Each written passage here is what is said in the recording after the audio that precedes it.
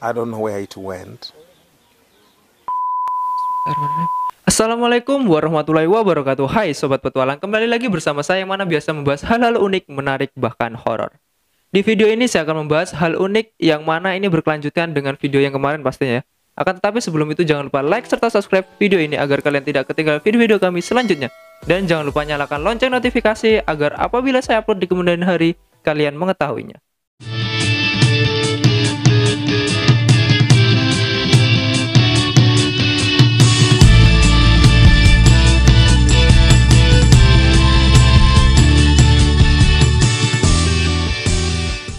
Oke, saya di sini akan membahas mengenai uh, larva zigot ya, yang mana kemarin itu saya bahas mengenai di bagian part ketiga. Kali ini saya akan membahas bagian part keempat, yang mana masih membahas bagian kaki dan lebih parahnya lagi di situ memperlihatkan bahwa bahayanya serta begitu menjijikannya ya larva zigot yang berada di kaki manusia tersebut. Yang mana di situ prosesnya begitu sangat mengerikan dan ya entah susah sangat dijelaskan ya dikarenakan begitu parah mulai dari pembersihannya dengan pisau yang memang dikhususkan untuk membedah dan hingga mengeluarkan sedikit darah dan seperti apa ya membusuk lah. Untuk itu daripada saya ngomong panjang lebar kali tinggi lebih baik kita langsung saja reaction video berikut ini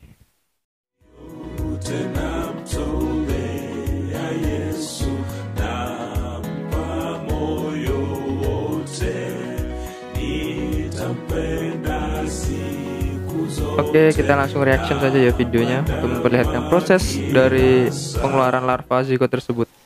Di sini langsung mulai dari kaki ya untuk melanjutkan proses kemarin.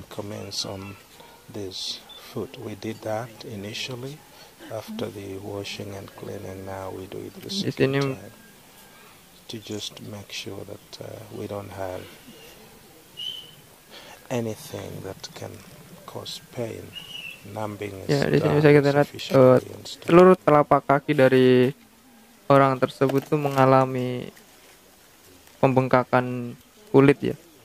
Dikarenakan di dalam kulit tersebut terdapat larva zigot, yang mana larva tersebut itu dikarenakan kutu pasir ya, yang menggigit dan memberikan efek tersendiri bagi gigitannya di sini menimbulkan bercak hitam dan lubang di di kaki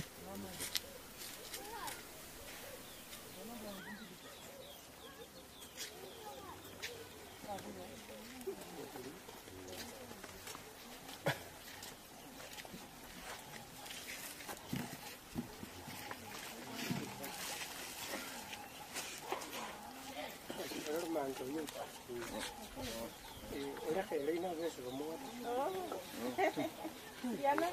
Mimi ni mtoto mmoja. Kuri batatu bane babekirano badidi abo nendovu nende omukulu badidi mepatiana wangapi mepatiana wangapi wamekuta wote wamepatiwa wangapi dawa akaina chupa hiyo aina yongene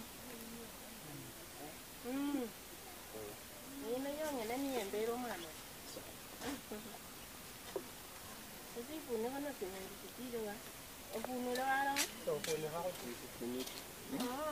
Ya di sini saya lihat di sini prosesnya itu dengan berhati-hati dan step by step ya. Yang mana ya bisa lihat di sini berwarna hitam.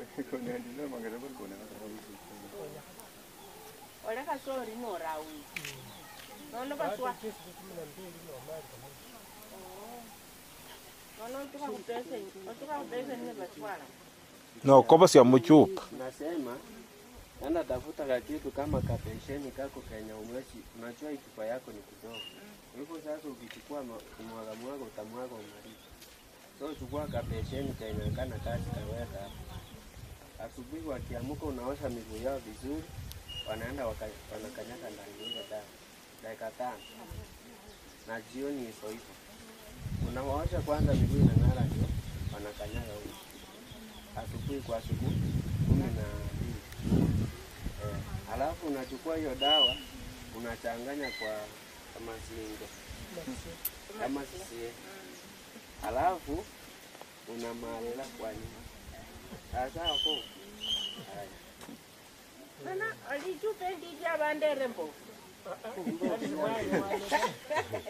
Mbovu ya si. Oh.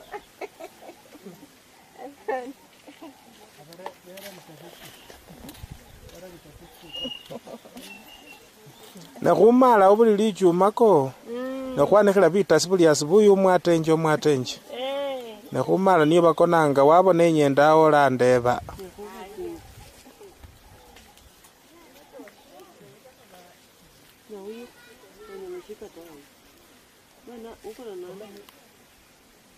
wewe peke yako uyini tataka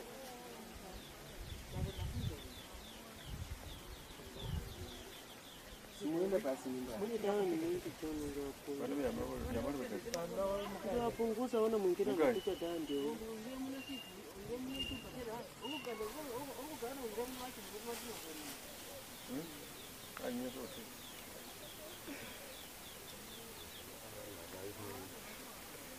Thank you.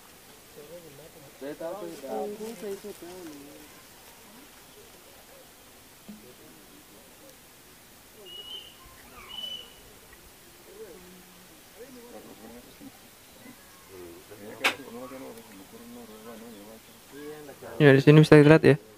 Begitu menebal kulitnya dikarenakan larva tersebut berada di dalam kulit luar bagian kaki ya di sini berwarna hitam enda mkae Entah gimana rasanya pastinya sedikit geli ataupun sakit. Hanya orang tersebut yang mengetahui.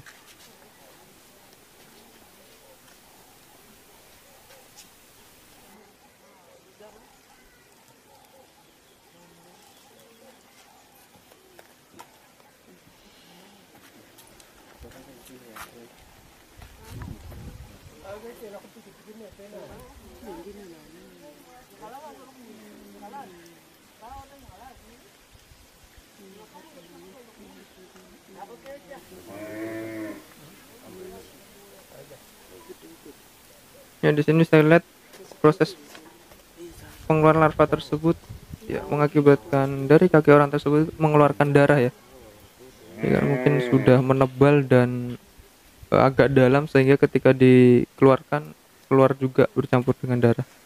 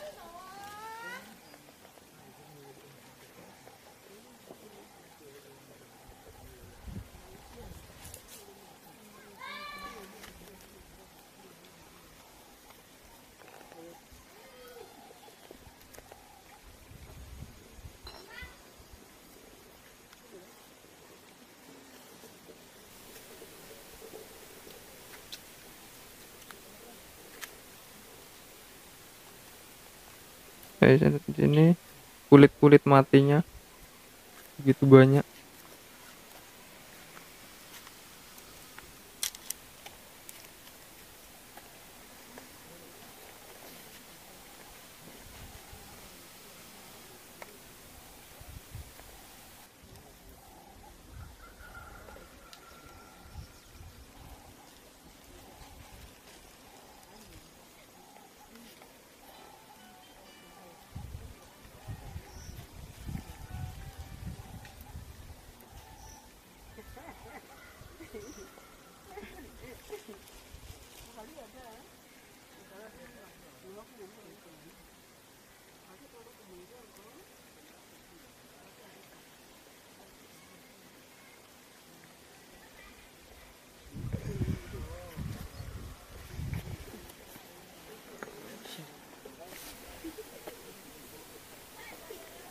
Oke, kaki bagian samping ya.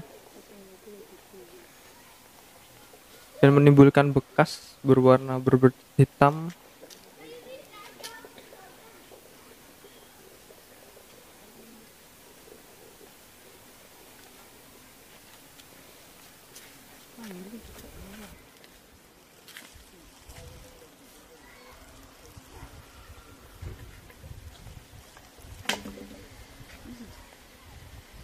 sinashinda hata ambayo manga kamba sinimokoza kazi ni mokoza mtoto.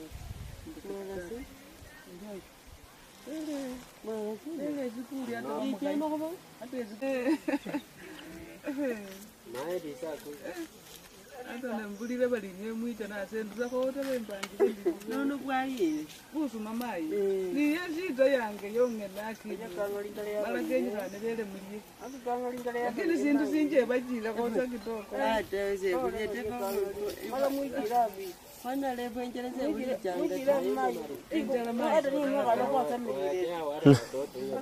Nimulime jinge akune jinge mayiwere amanyire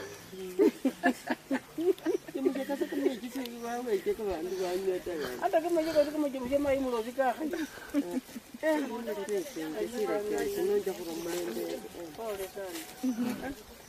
wala omuganizi akuita sagira wala bakuteeka palimala onekele mukorokoro yagwawo nomuyakuki eriwo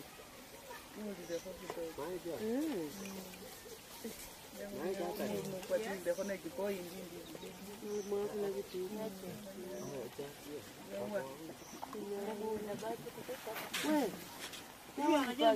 ya huko Oke, ini sekarang bagian tumit ya dari kaki tersebut. Yang mana juga terdapat larva zigot yang sudah menghitam dan menebal. Irisnya step by step Unatiki nini? Nikaongeza yako maji.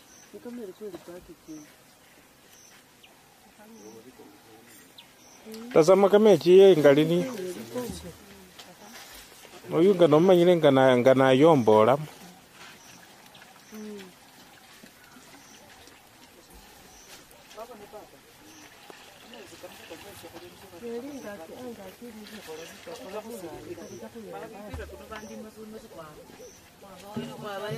mubikhile kho omwana oyoyo ne musima mm.